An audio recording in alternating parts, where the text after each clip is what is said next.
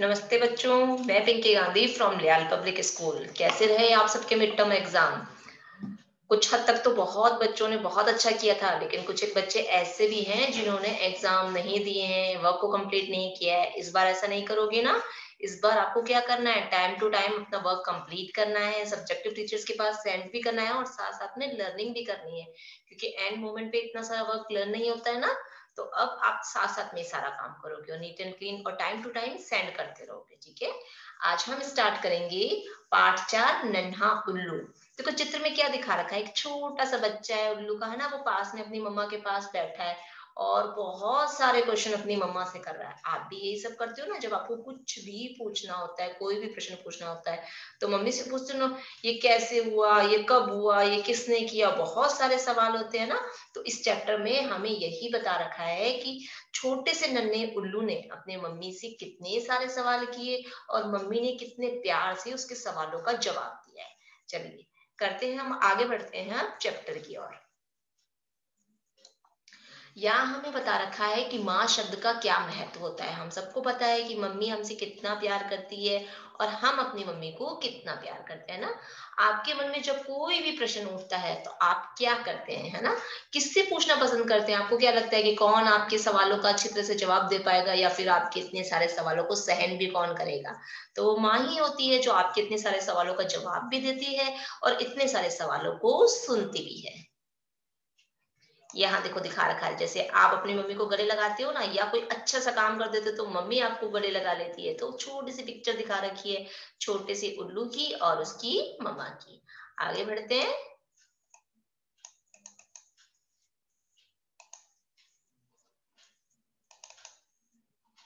जब वह दो साल का हो गया तो नन्हे उल्लू ने सवाल पूछना शुरू कर दिया। जब वो छोटा सा उल्लू जब बड़ा हो गया था, दो साल का हो गया था तो उसने भी अपनी मम्मी से प्रश्न पूछना शुरू कर दिया। पूरी रात वह अपनी माँ के संग सितारों के नीचे बैठा रहता। अब मुझे बताओ, वो कहाँ बैठता था अपनी माँ के साथ? अम्मा यानी कौन होती है? माँ। ठीक है, कहाँ बैठता था वो? अपनी माँ के साथ सितारों के नीचे बैठता था। आसमान में कितने सितारे हो? क्या पूछता था जब आसमान में बैठ, आसमान के नीचे बैठता था, सितारों के नीचे? तो अपनी अम्मा से क्या पूछता था वो कि आसमान में कितने सितारे हैं? उसने एक रात अम्मा से पूछा, ठीक है, उसने क्या सवाल पूछा था अपनी अम्मा से कि आसमान में कितने सितारे हैं? अम्मा ने क्या जवाब दिया था उसके सवाल का? अम्मा ने जवाब दिया, बहुत से। उसने पूछा, कितने? नन्हे उल्लू ने आसमान की ओर देखते हुए पूछा था मम्मा से, अपनी अम्मा से पूछा कि कितने होते हैं? उसकी अम्मा मुस्कुराने लगी, तुम्हें तुम गिनकर देख लो। क्या कहती है उसकी अम्मा? कि तुम गिनकर देख लो। एक, दो, तीन, चार, एक सौ एक एक सौ दो। जब सूरज निकला, नन्हा उल्लू तब भी गिन रहा था। एक हज़ार एक एक हज़ार दो, यानी कि उसको पूरी रात निकल गई। वो क्या कर रहा था पूरी रात? पूरी रात वो सितारों को गिन रहा था। एक, दो से गिनती स्टार्ट हुई और सुबह होते होते हज़ारों तक पहुँच गई। फिर अम्मा ने नन्हे उल्लू से पूछा, कितने सितारे हैं आसमान में? तब क्या जवाब दिया उसने? इतने की मैं गिन ही नहीं सकता। नन्हे उल्लू ने पलक झपकाते हुए कहा और अपना सिर पंखों में छिपाकर वह झट से सो गया। अब मुझे बताओ कि वो कहाँ सोया था?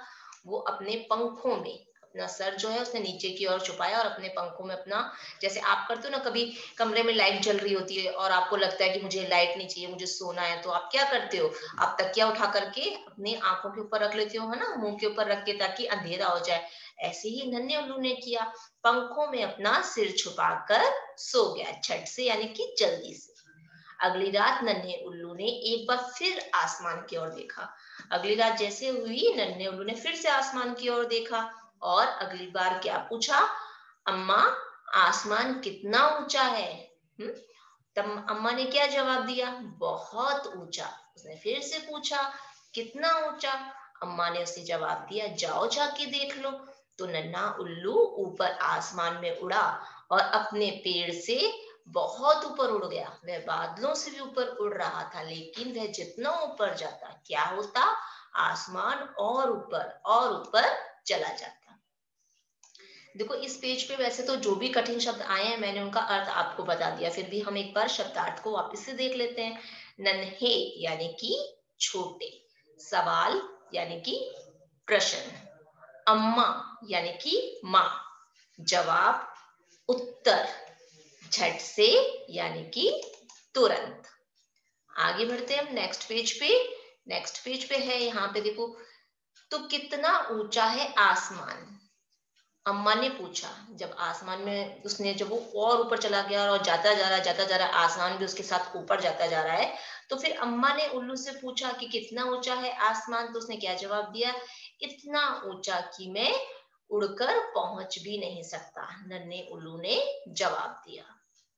कितना सुंदर, कितनी सुंदर पिक्चर लग रही है ना कि देखो आसमान दिखा रहे हैं, तारों से भरा हुआ और ये देखो, छोटा सा उल्लू ऊपर ऊपर उड़ता चला जा रहा है। फिर उसने आँखें बंद की और झट से सो गया। अब वो थक चुका था, इतना ऊपर उड़ते उड़ते आखिर वो थका और झट से यानी कि तुरंत सो गया। अगली रात नन्हे उल्लू ने समुद्र की लहरों की आवाज़ सुनी। फिर से अगली रात आई और अगली रात को एक और नया प्रश्न तैयार है। क्या प्रश्न था कि लहरों की आवाज़ उसको आ रही थी? उसने अपनी अम्मा से क्या पूछा? समुद्र में कितनी लहरें हैं? अम्मा बोली, बहुत सी। फिर नन्हे उल्लू ने कहा, कितनी? तो अम्मा ने उसको जवाब दिया, जाओ, जाकर गिन लो। नन्हा उल्लू उड़कर समुद्र के किनारे आ पहुँचा। वह गिनने लगा। एक, दो, तीन, ग्यारह, बारह, तेरह, एक हज़ार एक एक हज़ार दो और जब सूरज। आगे हम चलते हैं नेक्स्ट पेज पे। जब सूरज निकला तो उसने देखा समुद्र अब भी क्या है, लहरों से भरा हुआ है। वह अम्मा के पास लौट आया।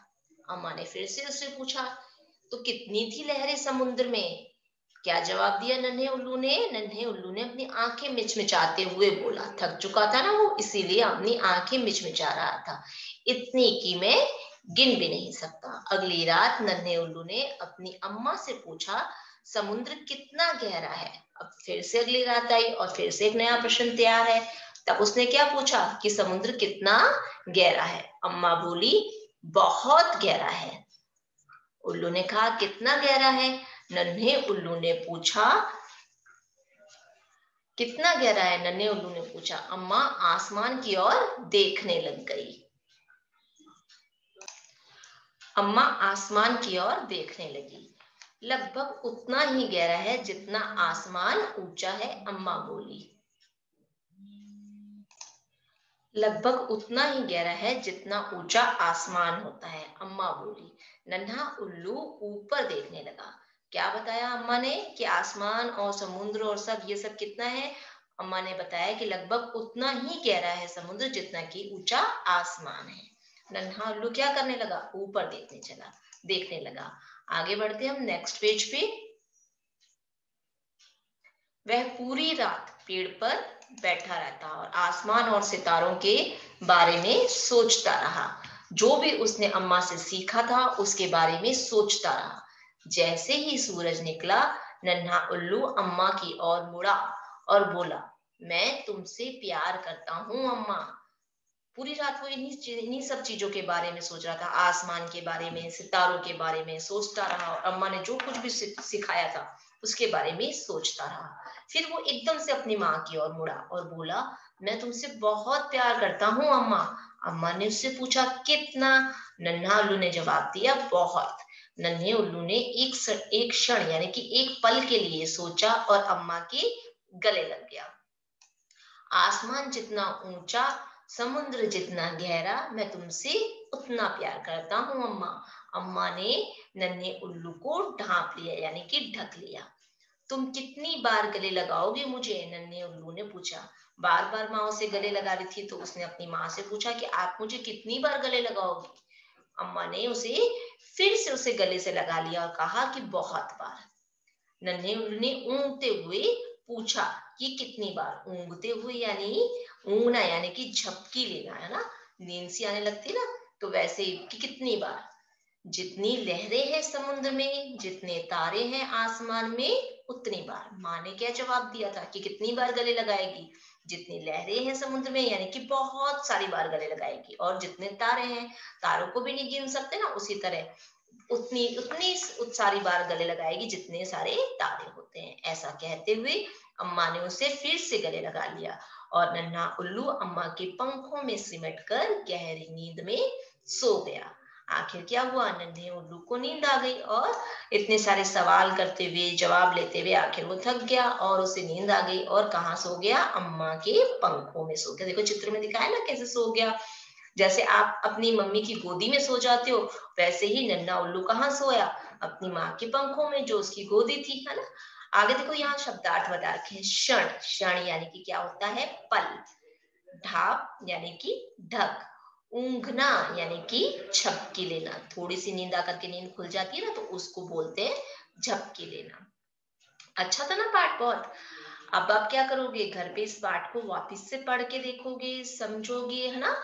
और क्या करोगे? सारी मात्राओं को ध्यान से रखोगे। आज की मैं मेरी कक्षा को यही समाप्त कर रही हूँ। धन्यवाद।